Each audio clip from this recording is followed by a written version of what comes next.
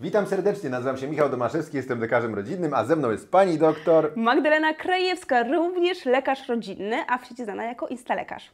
Bez zbędnych wstępów od razu przechodzimy do meritum. Co zabrać ze sobą w podróż, żeby dobrze ochronić swoje zdrowie? Co powinna zawierać apteczka podróżnych? Ale pamiętajmy o tym, najważniejsze, musi wiedzieć gdzie lecimy, na jak długo lecimy i z kim w jakim celu. Ponieważ od tego wszystkiego zależy, co ta właśnie nasza tutaj taka, przypuśćmy, apteczka powinna zawierać. Czyli czy jedziemy, lecimy z dziećmi, czy bez dzieci.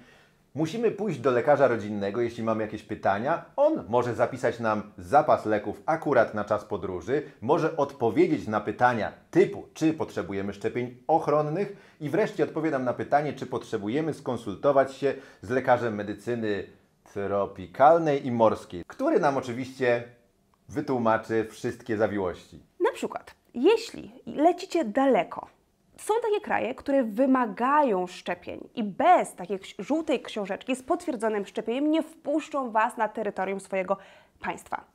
Musicie zaplanować taką podróż wcześniej, ponieważ szczepienie trzeba wykonać na przykład w dwóch dawkach w odstępie czasowym, więc dobrze jednak do takiego lekarza udać się kilka miesięcy wcześniej. Dodatkowo czasem potrzebna jest profilaktyka. W miejscach, gdzie występuje na przykład malaria, trzeba będzie przyjmować leki, więc dobrze skonsultować się i dobrze się przygotować.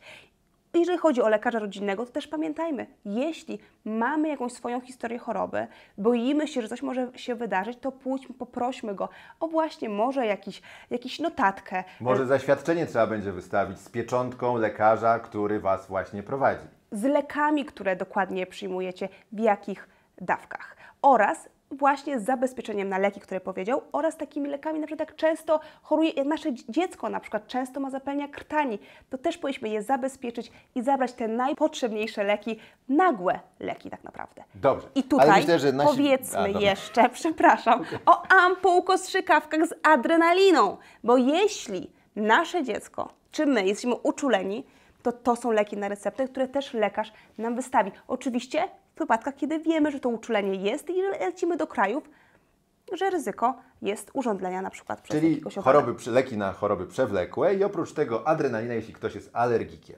Przejdźmy może do naszej wyprawy.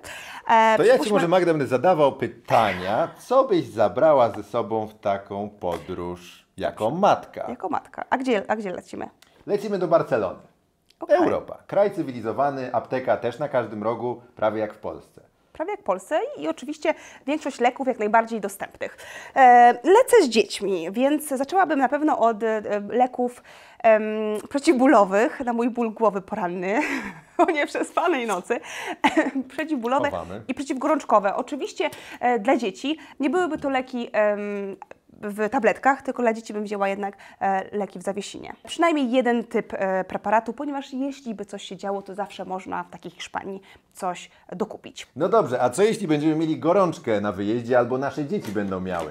Mamy tutaj aż trzy różne termometry i pytanie, który z nich wziąć na taką wyprawę do Barcelony? Jak myślisz Magda, który byś wybrała? Ja, ja bym wybrała, to też jest ważne, że my nie mówimy tutaj o żadnych wytycznych, które są dokładnie podane, bo takich wytycznych nie ma. My tutaj mówimy o naszej praktyce i dzielimy różne jednostki chorobowe. Jeśli chodzi o termometry, to pamiętajmy, że taki bezdotykowy termometr, on też wychwyca temperaturę otoczenia. Więc jeśli jedziemy do tropików, a w Barcelonie teraz, w tym momencie, może być bardzo gorąco, nie mierzmy takim termometrem temperatury na zewnątrz, tak dziecku, tylko w chłodnym, klimatyzowanym pomieszczeniu. Najlepiej temperatura pokojowa 22 stopnie, kilka minut poprzebywać w tym pomieszczeniu i dopiero potem mierzyć termometrem bezdotykowym. Czyli raczej on nie za bardzo się kwalifikuje do tej naszej Barcelony, trochę dużo zajmuje miejsca. Tutaj Tak. mamy taki termometr, który szybko w miarę mierzy i e, jest też dokładnym termometrem. Mało zajmuje miejsca, więc ja bym jednak zabrała taki i jeszcze jakbym leciała z noworodkiem, a lecę, no, z moi, moi dzieci już są starsze,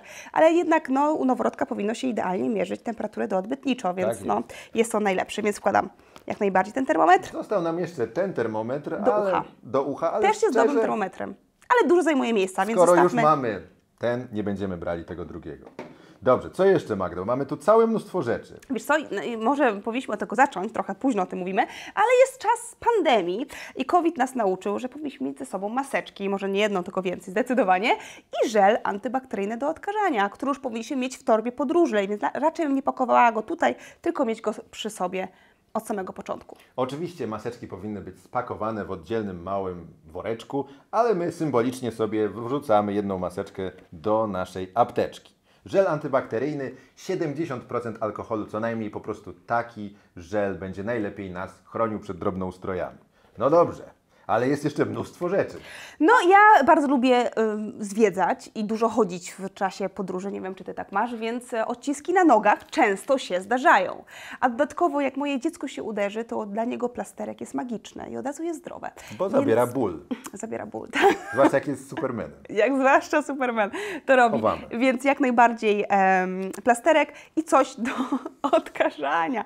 I coś do odkażania też zawsze się przyda, no bo dziecko może się przewrócić, może mieć jakąś rankę, więc dobrze mm, być na to e, gotowym. Krótko mówiąc, coś do odkażania małych skaleczeń i zadrapań. Też chowamy. I tak naprawdę, jeżeli chodzi o taką podróż do Barcelony, no to jakieś nożyczki może by nam się przydały, tak? Tutaj Ewentualnie dodatkowo. bandaż. No takie rzeczy już bardziej Ale pensetka, taką nawet można zwykłą pensetkę by było e, zabrać ze sobą. To są takie dodatki, które możemy wziąć, ale niekoniecznie e, musimy. E, reszta, e, przepraszam, Słońce. słońce. Zapomnieliśmy o słońcu. Mhm. Symbolicznie to będzie nasza ochrona przed słońcem. Musi to być krem z filtrem co najmniej 50. Jeżeli podróżujemy z dziećmi, pamiętajmy, żeby dostosować krem też do em, skóry dziecka, do jego wieku. E, no i jak najbardziej 50 chronimy przed oparzeniami słonecznymi, a jeśli do takich poparzeń by doszło, to też pamiętajmy, żeby zabrać ze sobą jakiś właśnie preparat, na przykład piankę z pantenolem, żeby jednak ochronić później tą skórę i zabezpieczyć. Od razu sobie sięgnąłem po kolejną rzecz, która ma nas ochronić, tym razem nie przed słońcem, ale przed owadami. Tutaj szczególnie mam na myśli kleszcze i komary. Symbolicznie wkładamy taki preparat do naszej apteczki podróżnej. Pamiętajmy o tym, że to musi być preparat, który będzie przyjazny dzieciom, bo nie wszystkie preparaty są niestety przyjazne dzieciom i mogą zawierać substancje, które po prostu dla dzieci nie są dobre. Oczywiście.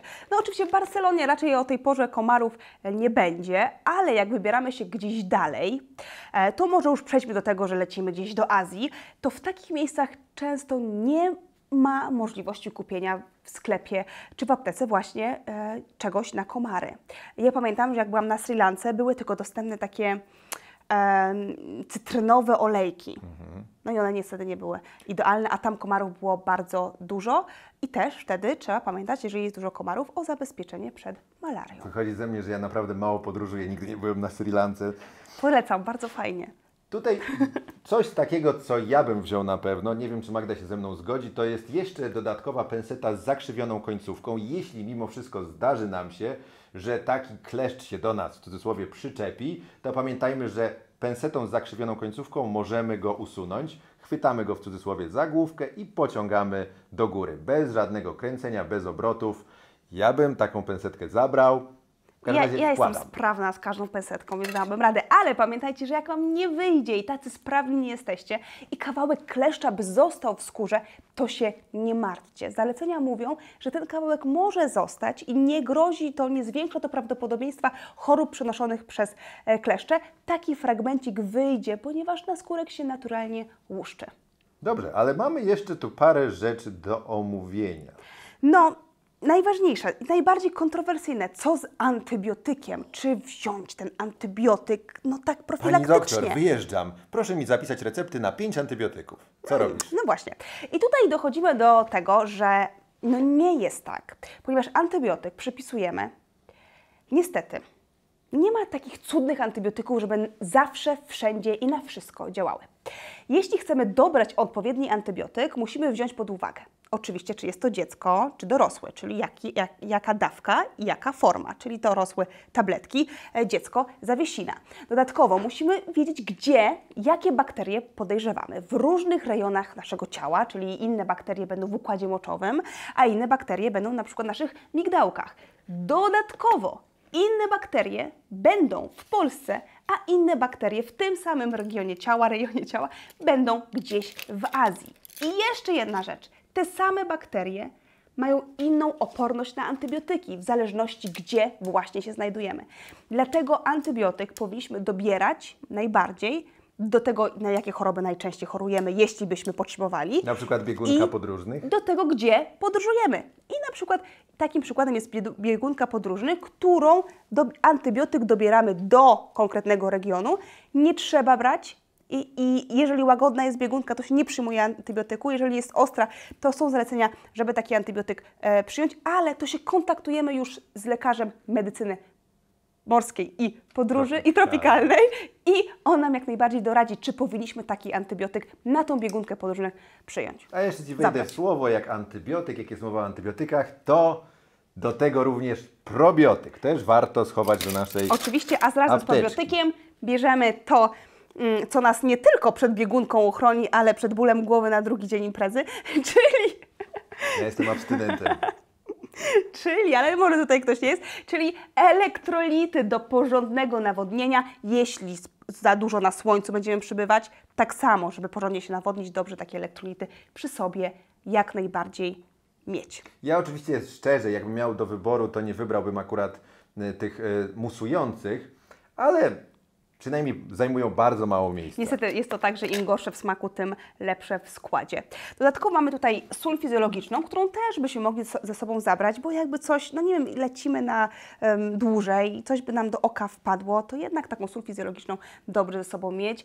Do noska, na katar, Wkładamy, tak, wkładamy. dobrze i do, nawet do polania rany tak samo, jak najbardziej mogłaby być. Ja myślę, że nasza apteczka już jest dosyć wypełniona. Pytanie, czy czegoś tu brakuje? Zostało nam jeszcze jeden tutaj segment, który jest też taki bardzo zależny od tego, gdzie jedziemy. Są to szybkie testy. Tutaj mam akurat szybki test na CRP, ale też są dostępne szybkie testy na przykład na zapalenie układu e, moczowego. E, szybkie testy na COVID też są dostępne od tego, e, więc też możemy taki test jak najbardziej ze sobą zabrać, ale to zależy, gdzie lecimy, jaka jest dostępność do ochrony zdrowia, na jak długo lecimy, czy z dzieckiem, czy osobą starszą, czy z osobą chorą, więc nie ma takiej potrzeby, żeby takie testy na każdą wyprawę na pewno Krótko zabierać. mówiąc, szybki test CRP powie nam, czy stan zapalny jest poważny, czy taki troszeczkę, można powiedzieć, do zignorowania i sam sobie przejdzie.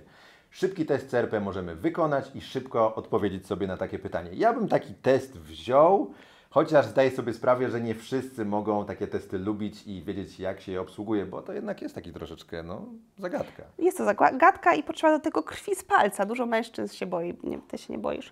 Mój mąż by zemdlał. Dobrze. Nic przyjemnego, ale chowamy, chowamy. Ja szczerze, jak moje dzieci były małe, taki test ze sobą miałam. Teraz bym nie potrzebowała. No jeszcze został plasterek, chowamy, absolutnie. No Zobaczcie, tak naprawdę nasza mase, maseczka, ta nasza Apteczka. kosmetyczka, apteczka nie jest za duża, nie jest spora, a już spakowaliśmy ją na takie podróże dalekie, całej, całorodzinne do e, tropików. Zabrakło nam jeszcze tylko karty Europejskiego Ubezpieczenia Zdrowotnego. Oczywiście. Tak, Karta masz rację, EKUS, o ile dobrze pamiętam. Do nie musimy jej Barcelony. chować do apteczki, tylko najlepiej trzymać ją w portfelu. Lub książeczka zdrowia dziecka, jeżeli e, taką oczywiście mamy, dziecko jest małe, powinniśmy e, zabrać i całą, tak jak mówiliśmy na początku, dokumentację naszą medyczną oraz spis naszych leków, a teraz też potrzebujemy do wielu krajów potwierdzenie tego, że zaszczepiliśmy się na COVID-19. Ja myślę, że to wszystko. Piszcie w komentarzach, co Wy jeszcze byście wzięli do swojej apteczki, czy może coś pominęliśmy. I co A- dla Was jest najważniejsze? I zachęcamy do łapek w górę. I subskrypcji naszego kanału. Trzymajcie się, dziękujemy za uwagę. Dużo zdrówka.